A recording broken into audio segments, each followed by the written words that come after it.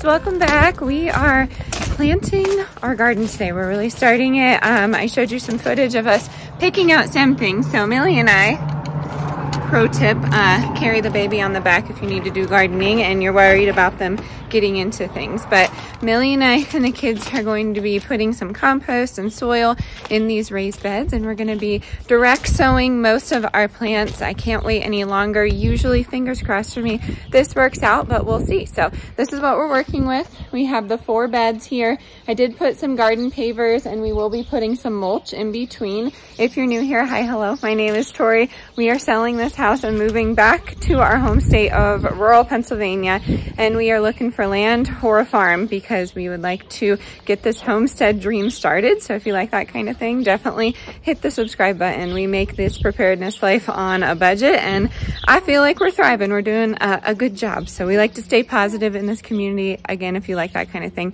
definitely hit the subscribe button. I promise we're a good time, but look at that. Look at all that lilac. So pretty. I'm going to give you a little tour of things. Uh, honestly, within a week, things have really just perked up. So the goal is just to get these dirt, this dirt and compost in the beds. And then we want to do these. And these are garden boxes from the Dollar Tree. I got them when they were $1.25, so two years ago. And it's kind of like a hack to that, you know, viral planter that everyone seems to have. It's just out of my budget. So we want to make it look nice here, make the property look beautiful. Hopefully uh, the new owners, we don't know who they are, but hopefully they like homesteading and gardening. We have a chicken pen for them and everything. So yay, I'm excited to get started today. Let's go.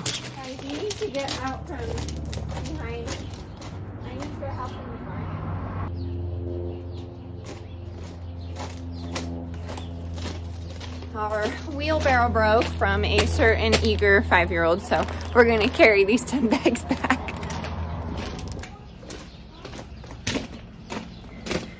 Okay, that was the last bag. I did five bag, no, I did seven bags of our regular, no, I did six bags of topsoil, organic topsoil, and then I did four bags of compost because I feel like if I have, oh, she grabbed my hair. That's the only flaw of this plan. I feel like if uh, we do too much compost, it will be too much nitrogen. That could be a problem with some of our plants because we do have our own compost from the chickens and all of that. So I just don't want to put too much nitrogen in it.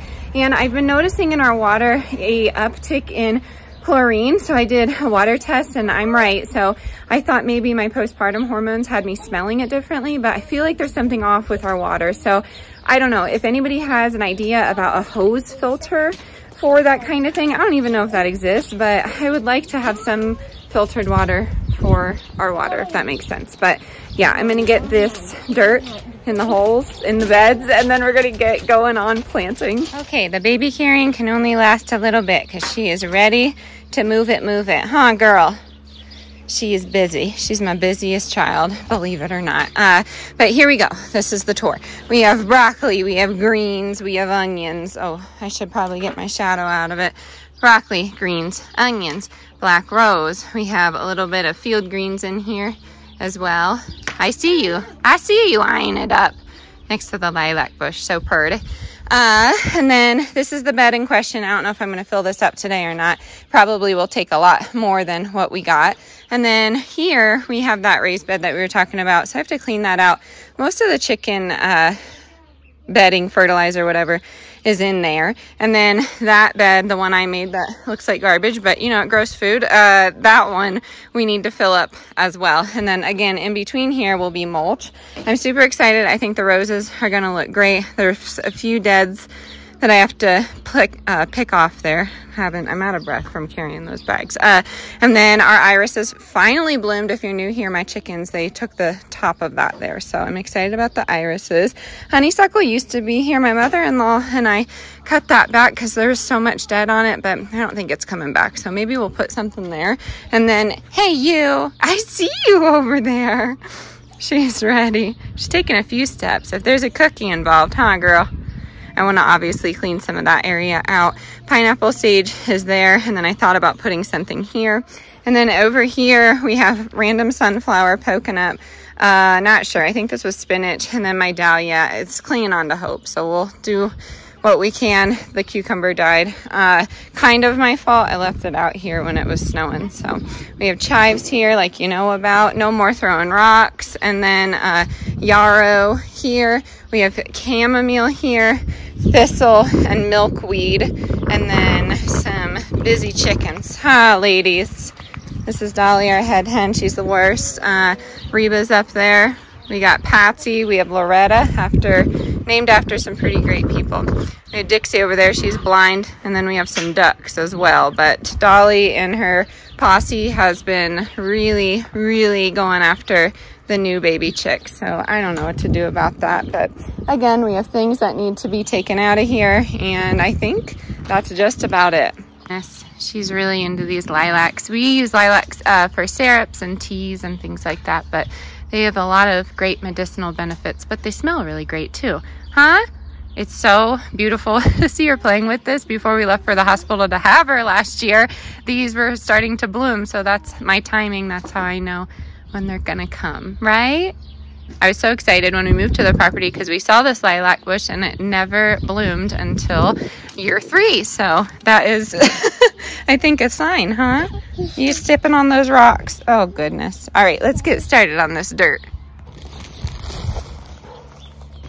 So I'm not layering it. I know I see a lot of people say that you have to do it that way, but I don't, I'm a firm believer that you don't have to do it in any way There's no reason to layer it. I'm just gonna gently mix it with my rake here. So right now I have a bag of topsoil, bag of compost, and then I'm gonna put another topsoil in here and hopefully that will help, but I might need to fill it a little more. I'm not sure yet. I just have to do that soil sample. So I will drop the soil samples that I use. Uh, I get mine on Amazon, but you can get them at a lot of different places.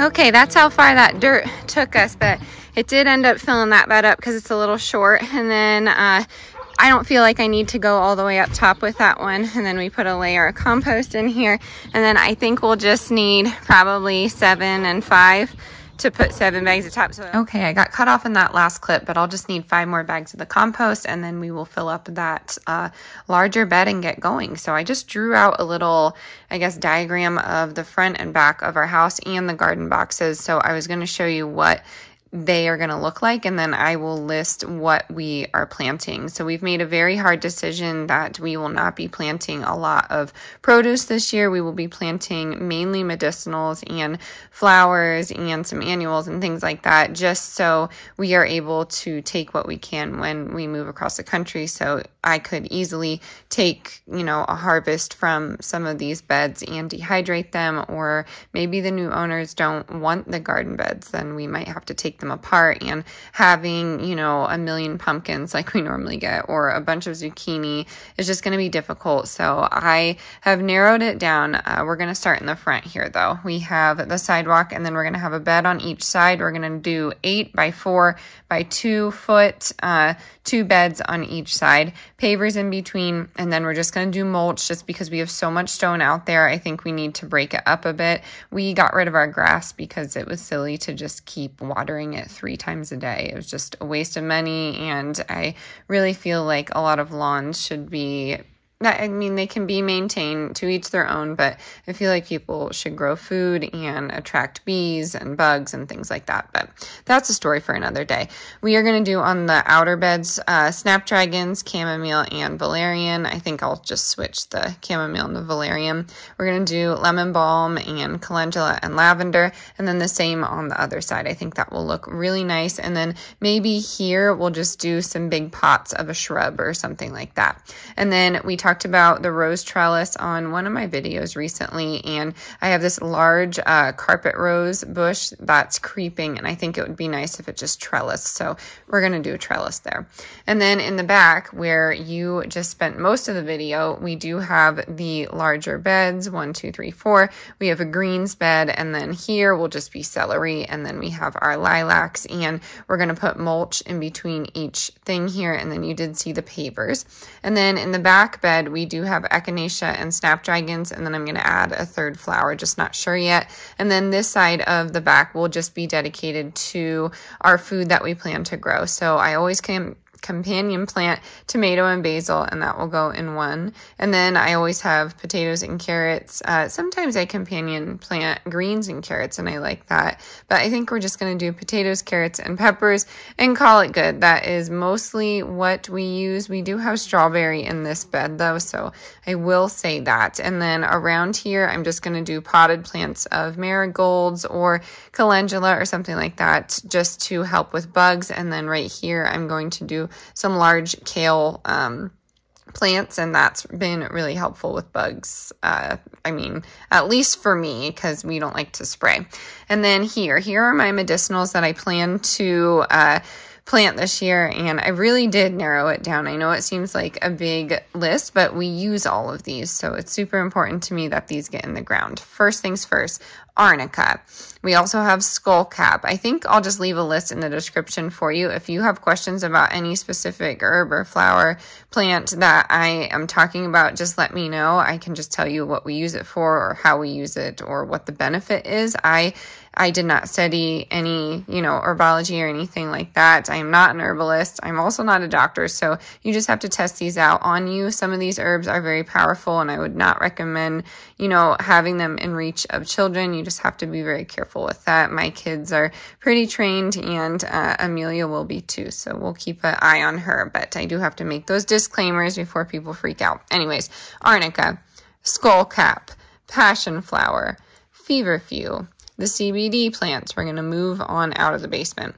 Calendula, golden seal, holy basil, oregano. We have comfrey. We have, we'll just go up, uh, dill, rosemary, sage, St. John's wort, hyssop, hyssop, whatever you want to call it, bee balm, which is bergamot. We have meadowsweet. We have California poppy. We have uh, wisteria that snuck in there. That was just going to be a suggestion for the new owners. That would be really pretty trellised uh, with the roses. But uh, anyways, we have borage, borage, whatever you want to call that. We have wild yam, red raspberry leaf, and Solomon seal. And that is it. I'm sure I might plant some more depending on what I have. I might even put some more valerian and lemon balm back here but I'm just going to do rows of them. I don't really have a method to my madness when it comes to companion planting, but each variety, you know, could look different. So sometimes I try and stick with different colors, but that is the plan. I, I feel like it's taken us a while to get here, but I'm excited. So I'm going to leave it here. Thank you so much for hanging out with me today. Let me know what kind of content you want to see if you enjoyed this gardening uh, content or if you want to see more food because I can do both. I think on this channel, I will just be opening up more about our homesteading and preparedness journey and not really niching down. So I hope that's okay with everybody. I know you all enjoy a variety of videos from me. Again, if you have any questions here, let me know and I will catch you on the next one. Stay adventurous, stay creative. Bye, y'all.